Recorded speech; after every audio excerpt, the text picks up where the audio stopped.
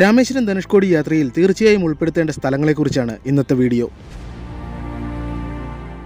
ആദ്യമായി നമ്മൾ പോകുന്നത് തീർത്ഥാടന കേന്ദ്രം എന്ന നിലയിൽ പ്രശസ്തമായ രാമേശ്വരത്തേക്കാണ്.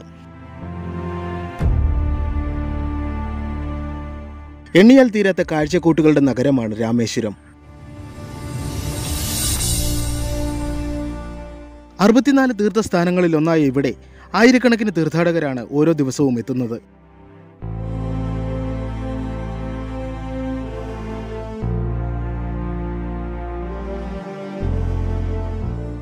രാമരാവണ യുദ്ധത്തിന് ശേഷം രാമൻ ഇവിടെ എത്തി കുളിച്ചു എന്നാണ് വിശ്വാസം.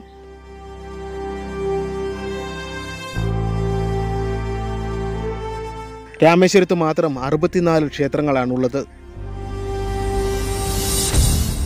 തീർത്ഥയാത്രയായും വിനോദസഞ്ചാരത്തിനായും ധാരാളം ആളുകളാണ് ഇന്ന് രാമേശ്വരത്ത് എത്തിച്ചേരുന്നത്. തൊട്ടടുത്ത് തന്നെ രാമേശ്വരം ശ്രീ രാമനാഥസ്വാമി ക്ഷേത്രവുമുണ്ട്. രാമനാഥസ്വാമി ക്ഷേത്രത്തിൽ മാത്രം ലക്ഷക്കണക്കിന് വിശ്വാസികളാണ് ഓരോ വർഷവും ദർശനത്തിനായി എത്തുന്നത്.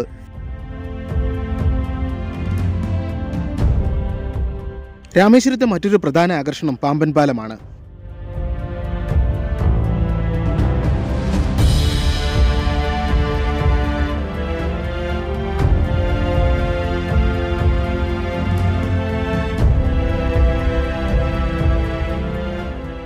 ഇന്ത്യയുടെ തെക്കേ അറ്റത്തുള്ളതും ഒരു കാലത്ത് വലിയ തുറമുഖ നഗരവുമായിരുന്ന ധനുഷ്കോടിയെ ഇന്ത്യ വൻകരയുമായി ബന്ധിപ്പിച്ചിരുന്നത് പാമ്പൻ പാലമാണ്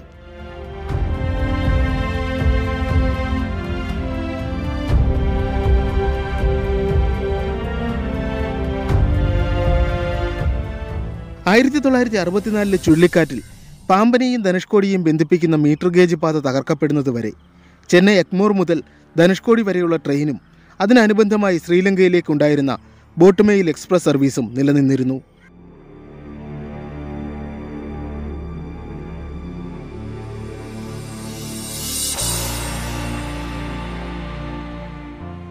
ഇന്നും ഇന്ത്യയുടെ അത്ഭുതമായാണ് പാമ്പൻ പാലം അറിയപ്പെടുന്നത്.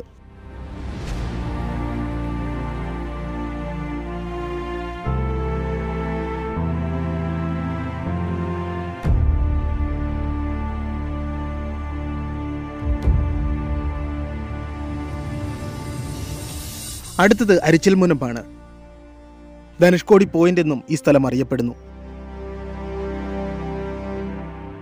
റോഡ് ചെന്ന് അവസാനിക്കുന്നത് ഒരു സ്തൂപത്തിന് ചുറ്റുമാണ്. ഇതാണ് ധനുഷ്കോടി പോയിന്റ് ശ്രീലങ്കയിലെ തലൈമന്നാറിൽ നിന്നും വെറും ഇരുപത്തിയൊൻപത് കിലോമീറ്റർ ആണ് ഇവിടേക്കുള്ള ദൂരം. ഒരേ കടൽ പക്ഷേ രണ്ട് നിറം. ഒരു ഭാഗത്ത് ബംഗാൾ ഉൾക്കടലും മറുഭാഗത്ത് ഇന്ത്യൻ മഹാസമുദ്രവും. ശ്രീരാമൻ സീതയെ വീണ്ടെടുക്കാനായി വാനരസൈന്യത്തിന്റെ സഹായത്തോടെ ചിറകെട്ടി ശ്രീലങ്കയിലേക്ക് പോയത് ഇവിടെ നിന്നാണെന്നാണ് ഐതിഹ്യം. ഇന്ന് അരിച്ചൽ മുനമ്പ് വരെ റോഡ് സൗകര്യമുണ്ട്. ഇനി നമ്മൾ പോകുന്നത് ധനുഷ്കോടി നഗരത്തിന്റെ അവശേഷിക്കുന്ന കാഴ്ചകൾ കാണാനാണ്. ഇന്ത്യയുടെ പ്രധാന തുറമുഖ നഗരങ്ങളിലൊന്നായിരുന്ന ധനുഷ്കോടിയിൽ. ആയിരത്തി തൊള്ളായിരത്തി അറുപത്തിനാലിൽ വീശിയടിച്ച ചുഴലിക്കാറ്റിന് മുൻപ് വരെ. റെയിൽവേ സ്റ്റേഷനും സ്കൂളും പള്ളിയും നേവി ഓഫീസും ഷിപ്പ്യാർഡും എല്ലാം നിലനിന്നിരുന്നു.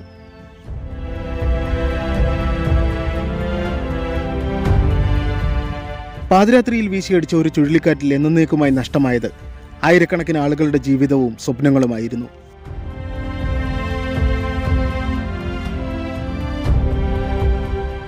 എല്ലാം നിലംപരിശാകാൻ വേണ്ടി വന്നത് ഏതാനും നിമിഷങ്ങൾ മാത്രം. ഇന്നത്തെ ഏത് തമിഴ് പട്ടണത്തെയും വെല്ലുന്ന പട്ടണമായിരുന്നു ധനുഷ്കോടി.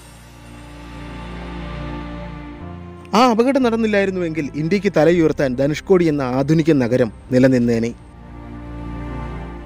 പവിഴപ്പുറ്റുകളും പാറക്കല്ലുകളും കൊണ്ട് നിർമ്മിച്ച വിശുദ്ധ അന്തോണീസിന്റെ ദേവാലയം ഉപ്പുകാറ്റേറ്റ് തകർന്നു തുടങ്ങിയെങ്കിലും കുറച്ചു ഭാഗം ഇപ്പോഴും ബാക്കിയുണ്ട്.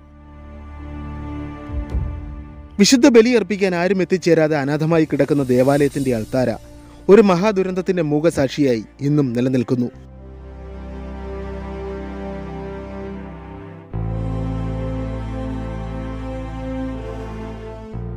പഴയ റെയിൽപാളത്തിന്റെ ഭാഗങ്ങൾ ഇന്നും ഒരു ദുരന്ത സ്മരണയായി മണൽ മൂടിക്കിടപ്പുണ്ട് കടലിൽ യാത്ര അവസാനിപ്പിച്ച ഒരു ട്രെയിനിന്റെ അവസാന യാത്ര ഈ ട്രാക്കിലൂടെയായിരുന്നു.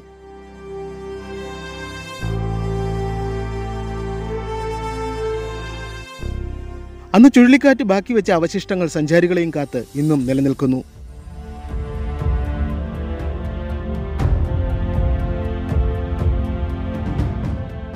ഇവിടെ തന്നെയുള്ള ക്ഷേത്രത്തിൽ ശ്രീരാമൻ ചിറകെട്ടാൻ ഉപയോഗിച്ച പാറയുടേതെന്ന് കരുതുന്ന അവശിഷ്ടം കാണാം. വെള്ളത്തിൽ പൊങ്ങിക്കിടക്കുന്ന അത് ഒരു പവിഴപ്പുറ്റിന്റെ ഭാഗമാണ് എന്നതാണ് സത്യം.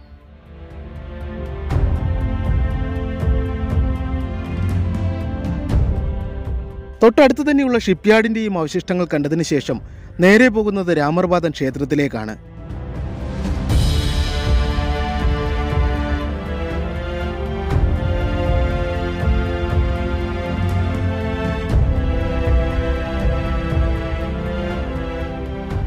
ധനുഷ്കോടിയിലെ ഏറ്റവും ഉയരമുള്ള ഇവിടെ നിന്നാണ് ശ്രീരാമൻ ലങ്കയിലേക്ക് നോക്കിയതെന്നാണ് വിശ്വാസം.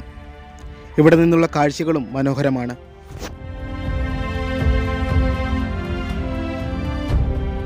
ശ്രീരാമന്റെ പാദം പതിഞ്ഞ സ്ഥലമായതിനാലാണ് ഇവിടം രാമർവാദം എന്നറിയപ്പെടുന്നത്.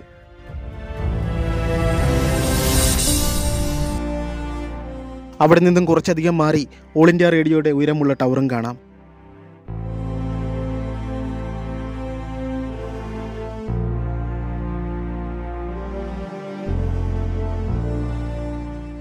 അടുത്തത് കലാം മെമ്മോറിയലാണ്.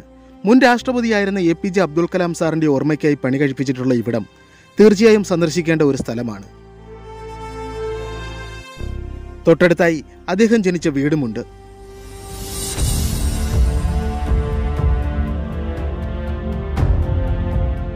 ഏകദേശം രണ്ടേക്കർ സ്ഥലത്തായി സ്ഥിതി ചെയ്യുന്ന ഈ സ്മാരകം ഡോക്ടർ കലാമിന്റെ ശവകുടീരത്തിലാണ് നിർമ്മിച്ചിട്ടുള്ളത്.